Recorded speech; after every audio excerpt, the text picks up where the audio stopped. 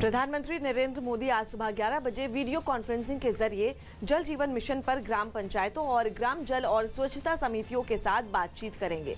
PM Modi लोगों के बीच जागरूकता बढ़ाने और मिशन के तहत योजनाओं में ज़्यादा पारदर्शिता और जवाबदेही के लिए जल जीवन मिशन ऐप की भी शुरुआत करेंगे।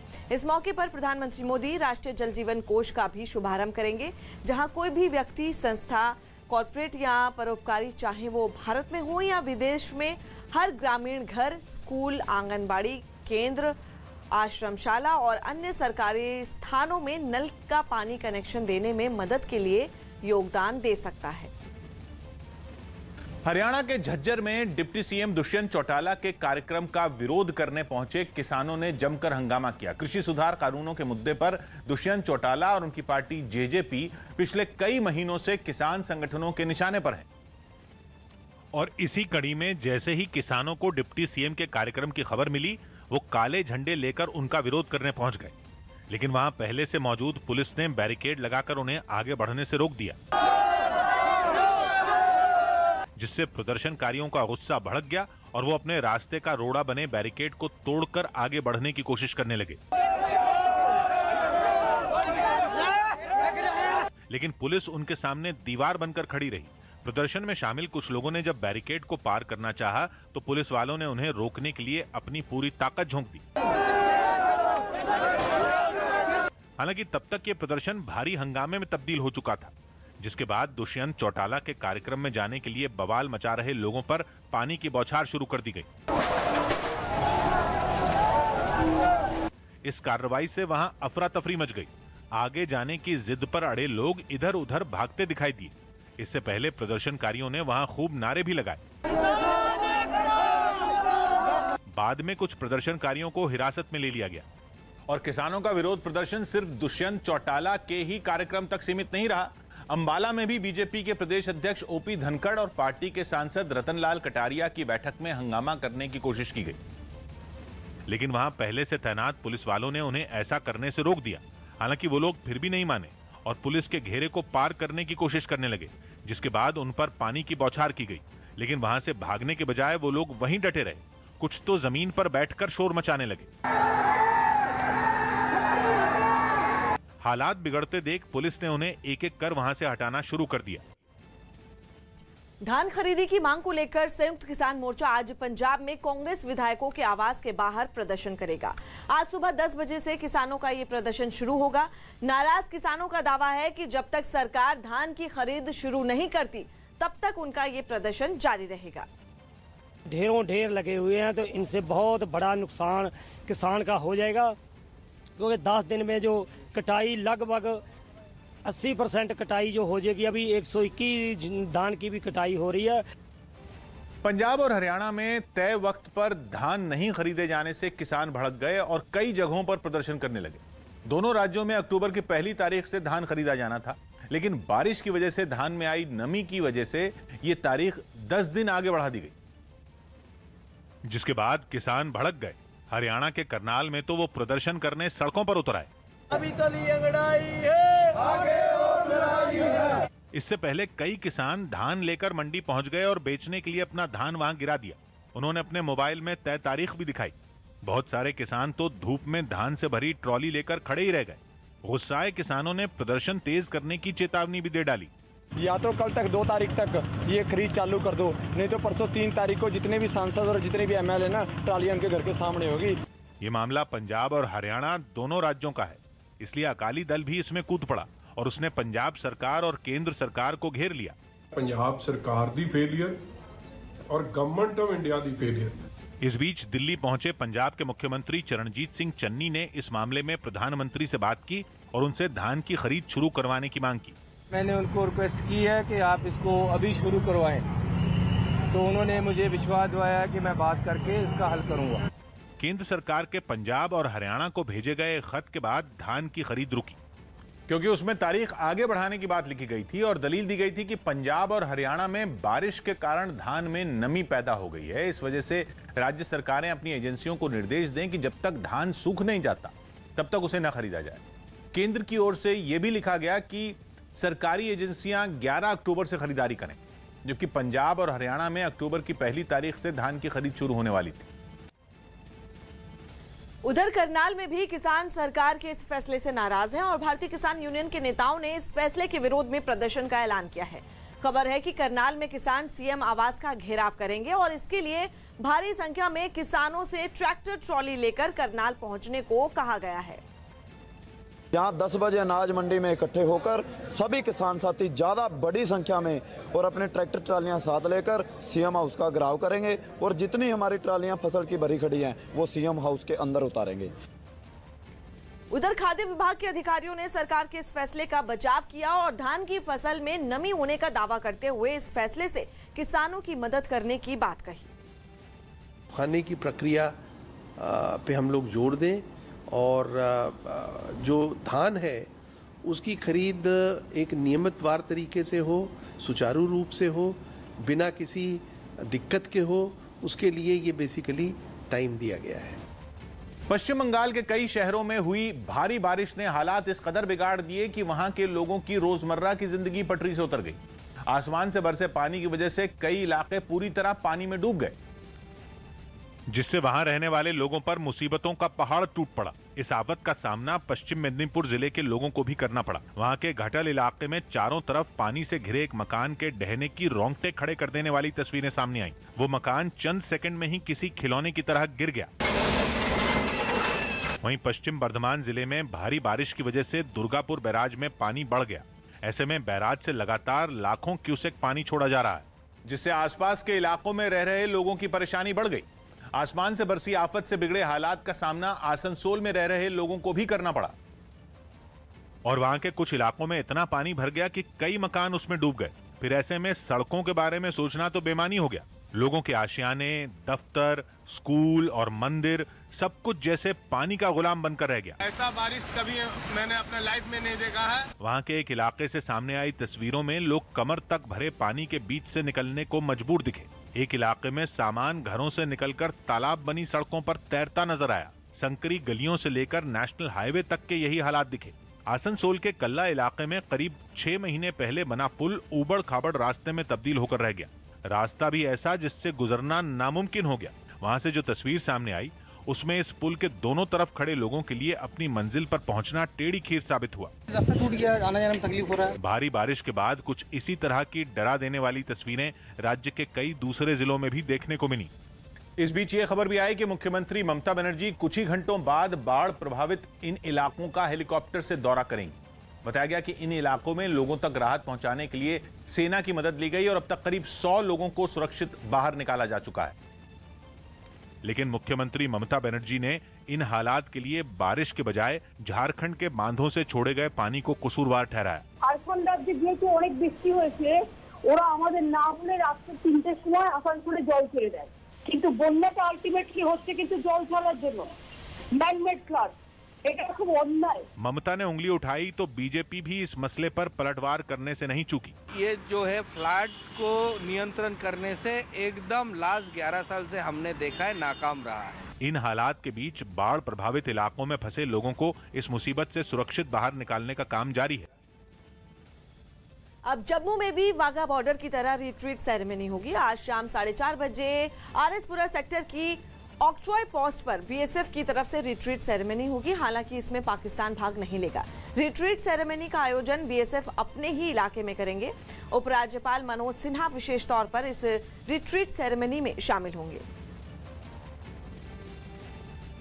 अमेरिका के हवाई राज्य में पृथ्वी के सबसे खतरनाक ज्वालामुखियों में एक ज्वालामुखी अचानक फट गया। ये वही ज्वालामुखी है जिसने वहाँ तीन साल पहले इतना कोहराम मचाया था कि 700 से ज़्यादा मकान तबाह हो गए थे। और हज़ारों लोग अपना घर छोड़कर भाग गए थे। हालाँकि इस बार जिस जगह पर यह ज्वालामुखी फटा है, वो पूरा हिस्सा एक नेशनल पार्क में आता है, जहाँ आम लोग नहीं रहते।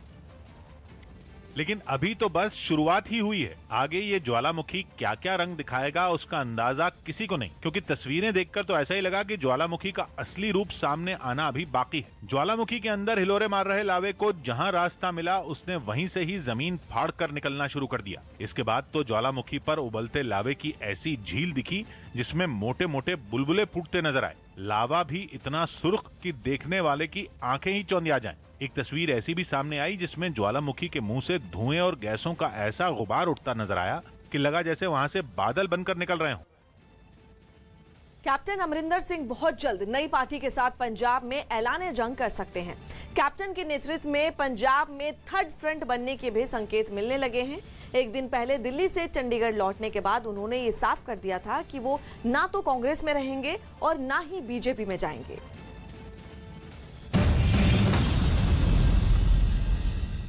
कैप्टन अमरिंदर सिंह के दिल्ली से चंडीगढ़ लौटते ही पंजाब की सियासत में खलबली मचना शुरू हो गई। कांग्रेस छोड़ने के ऐलान और बीजेपी में ना जाने के कैप्टन के दावे के बाद पंजाब में थर्ड फ्रंट की सुगबुगाहट सिर उठाने लगी है। इसका संकेत राज्यसभा सांसद सुखदेव सिंह ढींडसा के बयान से मिला। न्यूज़ 18 से एक्सक्लूसिव बातचीत में ढींडसा ने कैप्टन के साथ मिलकर थर्ड फ्रंट बनाने की संभावना जताई। ढींडसा ने कहा कि कैप्टन, अगर किसानों के मुद्दे को हल करवाने में कामयाब होते हैं तो फिर विचारधारा और मुद्दों पर थर्ड फ्रंट बनाने की पहल का वो स्वागत करेंगे। ਕਿਸਾਨੀ ਦੇ ਮਸਲੇ ਤੇ ਕਿਸੇ ਨਾਲ ਵੀ ਇਕੱਠੇ ਹੋ ਕੇ ਉਹਨਾਂ ਦੀ ਕਿਸਾਨੀ ਦਾ ਮਸਲਾ ਹੱਲ ਕਰਾਉਣ ਲਈ ਕਿਸੇ ਨਾਲ ਵੀ ਇਕੱਠੇ ਹੋ ਸਕਦੇ ਚਾਹੇ ਕੈਪਟਨ ਹੋ ਹਾਂ ਕੈਪਟਨ ਹੋਵੇ क्यों नहीं हो सकता ढींडसा के बयान को गंभीरता से लेने की वजह खुद कैप्टन ने दी है दिल्ली से चंडीगढ़ लौटते ही कैप्टन ने कांग्रेस और बीजेपी को लेकर जो कुछ कहा उसमें इसका संकेत है Number one, मैं I am not going to remain in the Congress. Number two, I am not joining the BJP. That is enough for me at the moment. सवाल उठता है कि कैप्टन के पास क्या विकल्प है बताया गया कि पंजाब लौटने के साथ ही कैप्टन कांग्रेस के कई विधायकों और सांसदों के संपर्क में है। इसके अलावा पूर्व मुख्यमंत्री अपने समर्थकों और कुछ किसान नेताओं से भी बातचीत कर रहे हैं। इन लोगों से बातचीत के बाद कैप्टन पंद्रह दिनों के अंदर किसी बड़े फैसले, यानी कि नई पार्टी का ऐलान भी कर सकते हैं। बताया गया कि पंजाब कांग्रेस के कई विधायक कैप्टन के साथ जा सकते हैं। नई पार्टी विचारधारा के आधार पर थर्ड फ्रंट बना सकता है। पंजाब में कांग्रेस में मचे घमासान के बाद कई नेताओं की नाराज़गी से कैप्टन की उम्मीदों को पंख लगने लगे हैं। इसकी एक झलक पंजाब कांग्रेस के पूर्व अध्यक्ष सुनील जाखड़ के उस ट्वीट में भी दिखी, जिसमें कैप्टन और अमित शाह की मुलाकात की तस्वीर के साथ मशहूर शायर बशीर बद्र का शेर नज़र आया। जाखड़ ने ट्वीट किया, कुछ तो मजबूरियाँ रही होंगी, यूँ ही कोई बेवफा नहीं होता। चूँकि अपने दो दिन के दिल्ली दौरे के समय कैप्टन ने जिस तरह से गृह मंत्री अमित शाह से मुलाकात की उसके बाद उनकी बीजेपी में जाने की संभावनाओं ने ज़ोर पकड़ लिया। लेकिन अगर कैप्टन बीजेपी में नहीं जा रहे तो फिर अकाली दल या आम आदमी पार्टी में भी जाने की संभावना उनकी ना के बराबर है। कैप्टन ने मुख्यमंत्री पद से इस्तीफे से पहले और इस्तीफे के बाद जिस तरह से राष्ट्रवाद का कार्ड खेला, उसके बाद बीजेपी में जाने के अलावा उनके पास अपनी पार्टी बनाने का ही रास्ता बचा है। कैप्टन के तेवर से साफ़ है कि उन्होंने कांग्रेस के साथ ही इमरान खान के दोस्त और जनरल बाजवा से गले मिलने वाले नवजोत सिंह सिद्धू को हराने का बीड़ा उठा लिया है। दिल्ली दौरे पर एनएसए अजीत डोभाल से उनकी मुलाकात के कई मायने निकाले जा रहे हैं। लेकिन असल सवाल यही है कि क्या कैप्टन को पार्टी में मौजूद उनके खेमे के विधायकों का समर्थन मिलेगा? इस सवाल का जवाब देने से अमरिंदर ने फ़िलहाल इनकार कर दिया। कांग्रेस के एमएलए और मंत्री आपके साथ में हैं जो आपके साथ जाएँगे? साथ में क्या आप क्या समझते हैं कि मैं आपको बताऊँगा? अमरिंदर ने भले ही जवाब न दिया हो लेकिन कम से कम एक दर्जन विधायकों और नेताओं के उनके साथ आने का अनुमान है। लेकिन अगर नाराज़ विधायकों की संख्या दो दर्जन हो जाती है तो मौजूदा कांग्रेस सरकार अल्पमत में भी आ जाएगी। ऐसे में फ्लोर टेस्ट हुआ तो सरकार गिर जाएगी और पंजाब में राष्ट्रपति शासन का रास्ता खुल जाएगा। ये तो हम स्पीकर ने देखना है कि अगर ये हालात कोई बन जान के मेजोरिटी कोई पार्टी खो बैठती है तो फिर स्पीकर फैसला कर दे नॉट माय जॉब मेरा काम नहीं है कहना कहना। पंजाब में भाजपा किस मुगालते में है या अपना कोई उनके मन में ऐसा भ्रम है, ऐसा पाप करने जा रहे हैं कि सरकार गिराने का भाजपा तो मैं उनको वार्न करना चाहता हूँ। वहाँ श्री चन्नी के नेतृत्व में कांग्रेस की सरकार है और बहुत अच्छे बहुमत के साथ है। चूँकि पंजाब में किसान बड़ा वोट बैंक है, इसलिए नई सियासत के लिए उनकी नज़र किसानों के मुद्दों पर है। कैप्टन ने अमित शाह से मुलाकात की बड़ी वजह किसानों के मुद्दों पर बातचीत ही बताई थी पूर्व मुख्यमंत्री अगर किसानों का दिल जीतने में सफल होते हैं तो उनकी कसम रंग ला सकती है ਅਸੀਂ ਚਾਹੁੰਦੇ ਆ ਭਾਵੇਂ ਕੈਪਟਨ ਸਾਹਿਬ ਹੋਣ ਭਾਵੇਂ ਕੋਈ ਵੀ ਆਦਮੀ ਹੋਵੇ ਵਿੱਚ ਪਵੇ ਅਸੀਂ ਉਹਦਾ ਸਵਾਗਤ ਵੀ ਕਰਾਂਗੇ ਧੰਨਵਾਦ ਵੀ ਕਰਾਂਗੇ ਵੀ ਸਾਡੇ ਜਿਹੜੇ ਆਪਣੇ ਮਸਲੇ ਹੱਲ ਕਰਵਾਵੇ जाहिर है आने वाले दिनों में पंजाब की राजनीति में कई उतार चढ़ाव और दिलचस्प घमासान देखने को मिल सकते हैं पंजाब के बाद छत्तीसगढ़ में भी कांग्रेस में घमासान मचा हुआ साफ़ नज़र आ रहा है। नेतृत्व परिवर्तन की अटकलों के बीच सीएम भूपेश के समर्थन में कांग्रेस के 10 और विधायक दिल्ली रवाना हुए। पहले से ही 18 से ज़्यादा विधायकों का दिल्ली में पहले से जमावड़ा लगा हुआ है। बताया जा रहा है कि भूपेश बघेल के समर्थन में विधायक सत्तावन एमएलए की सहमति वाले पत्र के साथ पीएल पुनिया से मिलेंगे और उसके बाद हाईकमान को इसके बारे में जानकारी दी जाएगी। कृषि सुधार कानून के खिलाफ सड़कों पर हो रहे विरोध प्रदर्शन पर सुप्रीम कोर्ट ने किसानों को फटकार लगाई और यहाँ तक टिप्पणी कर दी कि उन्होंने पूरे शहर का दम घोट दिया। न्यूज़ एटीन के विक्रांत यादव की रिपोर्ट है कि किसान महापंचायत नाम के एक संगठन की याचिका पर सुनवाई के दौरान अदालत ने सड़कों पर हो रहे किसान आंदोलनों पर नाराज़गी ज़ाहिर की। इस संगठन ने याचिका में दिल्ली के जंतर मंतर पर सत्याग्रह सत्याग्रह करने की इजाज़त मांगी। जिस पर सुनवाई करते हुए सुप्रीम कोर्ट ने सवाल किया कि जब कृषि सुधार कानूनों के खिलाफ अदालत में चुनौती दी गई है तो फिर सड़कों पर प्रदर्शन करने का क्या मतलब? यही नहीं, जज ने यह भी पूछा कि क्या प्रदर्शन कर रहे संगठनों को न्यायिक व्यवस्था पर भरोसा नहीं है? इसके साथ ही कोर्ट ने सख्त लहजे में कहा कि सड़कों पर जो संगठन कृषि सुधार के विरोध में प्रदर्शन कर रहे हैं, उन्होंने पूरे शहर का दम घोट दिया है। जो रुकना चाहिए। और सड़क को जैम रखने पर भी जज ने सवाल उठाया कि एक बार कानून को अदालत में चुनौती देने के बाद प्रदर्शन का कोई तुक नहीं बनता। जिस पर याचिकाकर्ता ने सफ़ाई दी कि वो प्रदर्शन कर रहे किसानों से अलग हैं और उन्होंने कहीं भी रास्ता जाम नहीं किया। तो कोर्ट ने कहा कि वो इस बारे में अदालत में हलफनामा दाखिल करे। अब इस मामले की सुनवाई सोमवार को होगी। बहुत ज़्यादा प्रॉब्लम है सर हमें डेली आना जाना होता है कहाँ कहाँ से घूम के जाते हैं सुबह ऑफ़िस जाना होता है। परेशानी तो है घूम के आना पड़ रहा है वहाँ से अगर रास्ता ये खुला होता तो ये रोड से ना जीना बना हुआ है इससे क्रॉस करके पैदल भी हम आ सकते थे। वर्क फ्रॉम होम के लिए सरकार दिशा निर्देश तय कर सकती है। दोहा में भारतीय पुरुष टेबल टेनिस टीम ने एशियन चैंपियनशिप में ब्रॉन्ज मेडल जीता। उसे सेमीफाइनल में दक्षिण कोरिया ने तीन शून्य से हराया। भारतीय महिला क्रिकेट टीम ने मेजबान ऑस्ट्रेलिया के खिलाफ पहली पारी में पाँच विकेट पर दो सौ छिहत्तर रन बना लिए। दूसरे दिन भी इस टेस्ट में बारिश की वजह से कई बार खेल रोकना पड़ा। दिल्ली पुलिस के स्पेशल सेल ने दो बदमाशों को गिरफ़्तार किया। आरोप है कि इन्होंने गुजरात में डकैती की वारदात को अंजाम दिया था। उत्तर प्रदेश के फिरोजाबाद में खेत में शौच के लिए गए एक बच्चे पर जुल्म ढाया गया। बताया गया कि उस खेत के मालिक ने गुस्से में आकर उस बच्चे को बिजली के एक खंभे से बाँध दिया। यही नहीं उसके मुँह में भी कपड़ा ठूस दिया गया ताकि वो शोर न मचा सके। इसके बाद जब वो बच्चा काफ़ी देर तक अपने घर नहीं पहुँचा तो उसके परिवार वालों ने उसकी तलाश शुरू की। तो उधर देखा है फिर जाकर तो वो फुल से बंधा मिला है बच्चा। बच्चे को इस हालत में देखने के बाद घर वालों ने थाने में इसकी शिकायत की। वहीं पुलिस ने आरोपी के खिलाफ कार्रवाई का भरोसा दिया। जनों से तहरीर प्राप्त करके मुकदमा पंजीकृत कर दिया गया है। आगे विधिक कार्रवाई की जाएगी। कोलकाता में दुर्गा पूजा के लिए मुख्यमंत्री ममता बनर्जी की मूर्ति को एक पंडाल में सजाया गया। इस मूर्ति में ममता बनर्जी को दुर्गा के रूप में दिखाने की कोशिश की गई जिस पर बीजेपी पहले ही ऐतराज जता चुकी। लेकिन इस विवाद के बीच कोलकाता के एक क्लब ने ममता बनर्जी की इस मूर्ति को पंडाल में सजा दिया। सामने आई एक तस्वीर में टीएमसी नेता मदन मित्रा पंडाल में सजी ममता की इस मूर्ति के सामने पूजा करते दिखे। इसके बाद वहाँ जमा कई लोग ढाक की थाप पर डांस करते हुए नज़र आए। बोलो ममता माई की। बोलो ममता माई की। इस मूर्ति में दुर्गा की मूर्ति की तरह दस हाथों को दिखाया गया जिनके ज़रिए ममता सरकार की दस योजनाओं को दर्शाया गया। इतना ही नहीं मदन मित्रा ने मूर्ति को आखिरी रूप देने वाली रस्म को भी निभाया। साथ ही उन्होंने ममता बनर्जी को दुर्गा से बेहतर बता दिया। हमारा पास दुर्गा की रूप से ममता की रूप अच्छा है क्योंकि दुर्गा की रूप के अस्तूरा है। मदन मित्रा के इस बयान पर बीजेपी भड़क गई और इस पर कड़ा एतराज़ जताया। बिल्कुल अपमान मानते हैं और ये अपमान खाली हिंदू धर्म के साथ ही करने का साहस दिखाते हैं। जब ये मूर्ति बनवाई जा रही थी तब भी इस मुद्दे पर बीजेपी और टीएमसी आमने सामने आ गए थे। यूपी में कानपुर के बर्रा में एसपी नेता की सरेआम हत्या से हड़कंप मच गया। बताया जा रहा है कि कुछ लोगों ने समाजवादी पार्टी की कानपुर देहात युवजन सभा के उपाध्यक्ष हर्ष यादव को गोली मार दी जिससे उनकी मौके पर ही मौत हो गई।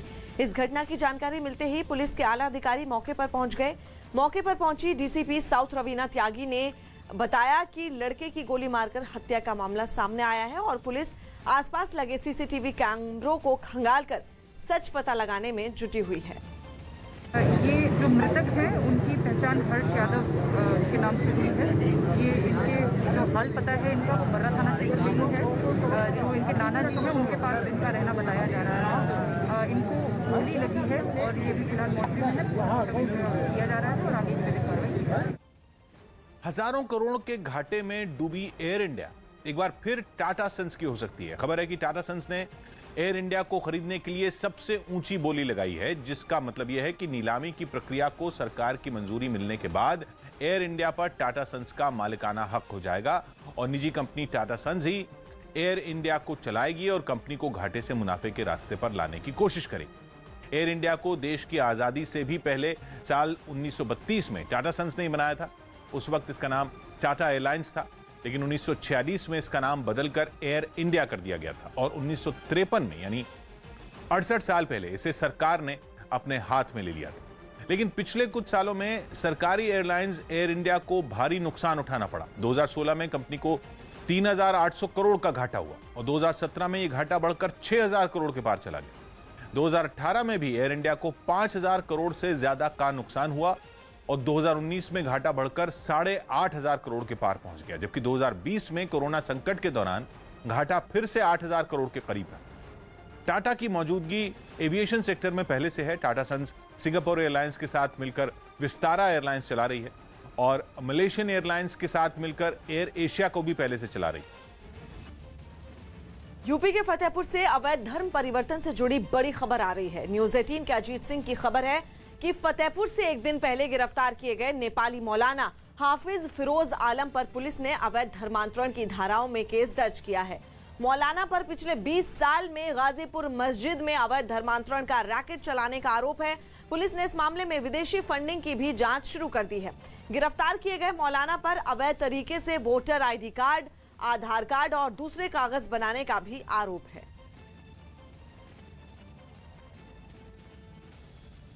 नेपाल राष्ट्र का एक नागरिक जनपद फतेहपुर के थाना गाजीपुर क्षेत्र के मेवाती मोहल्ले से गिरफ़्तार किया गया है। यह विगत 20 वर्षों से अधिक समय से आकर जनपद फतेहपुर में रह रहा था और मेवाती मोहल्ले के पति से इसने driving licence, Aadhaar card, PAN card एवं पासपोर्ट भी बनवा रखा था। इसके विरुद्ध आईपीसी की धाराओं के साथ साथ पासपोर्ट अधिनियम की धारा एवं उपलब्ध साक्ष्यों के आधार पर धर्म परिवर्तन की धाराओं के अंतर्गत मुकदमा पंजीकृत कर जेल भेजने की कार्रवाई की गई है।